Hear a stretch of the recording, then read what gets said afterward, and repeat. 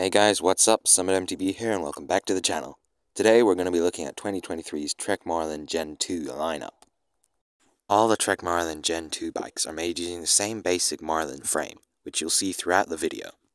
We're going to start off with Trek's lowest end Marlin, the Trek Marlin 4, which has the lowest specification of all bikes here, but is also the most budget friendly. On the Trek Marlin 4, you have front and rear derailleurs. On the rear, you have Shimano's Tourney EF500 7-speed derailleur, which is entry-level, but still provides you with a good ratio. On the front, however, is Shimano Tourney TY300 with 3 speeds. This means you're going to have 21 ratios to go through.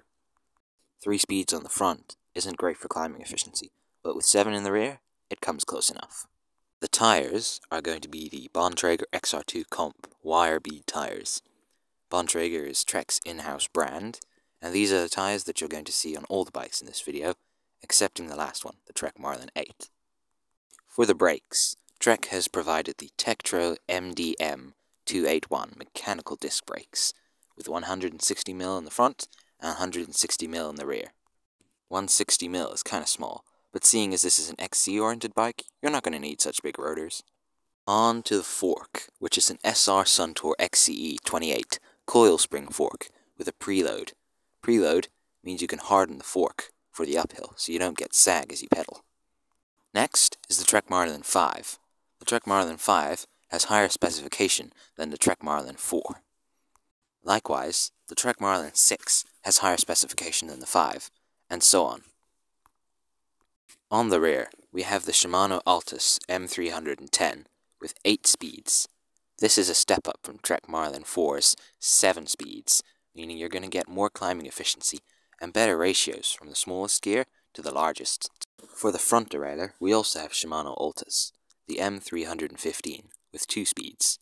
The smaller cogs here are going to help with climbing efficiency and improving the ratios on the rear. Once again, we have the Bontrager XR2 Comp wire bead tires. Brake-wise, we have a big step up from the Trek Marlin 4, with hydraulic disc brakes instead of mechanical. The brakes are the HD M275 with 160mm front and rear. The fork is going to be the SR Suntour XCT30 coil spring with a preload and a lockout.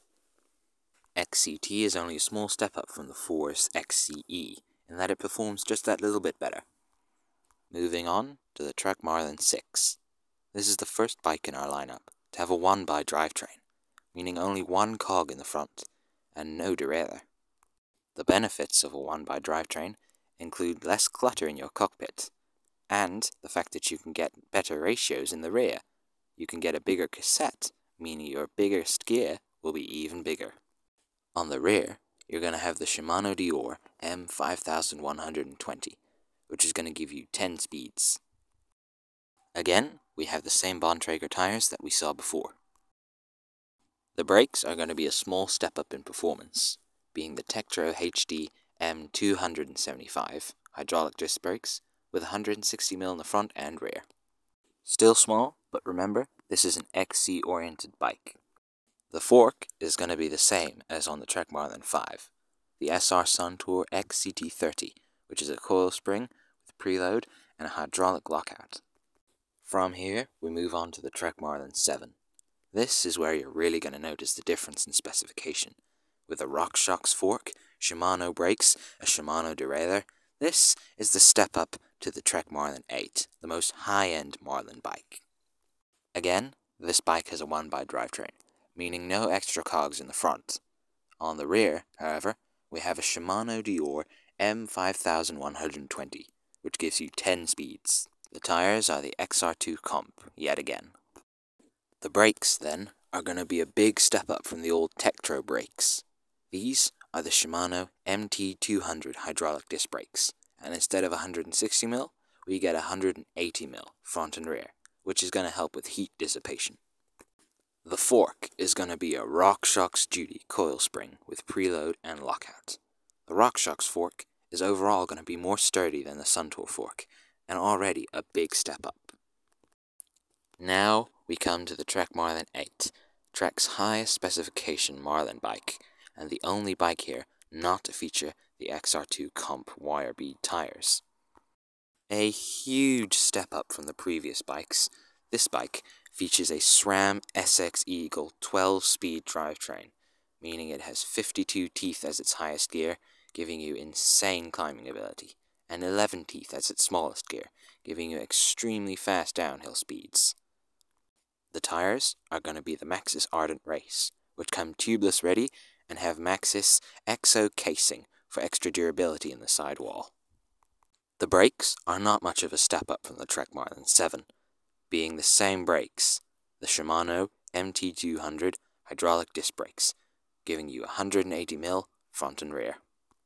Probably the biggest upgrade on this bike is going to be the RockShox Judy Silver air fork, giving you rebound adjustment and hydraulic lockout, as well as a preload.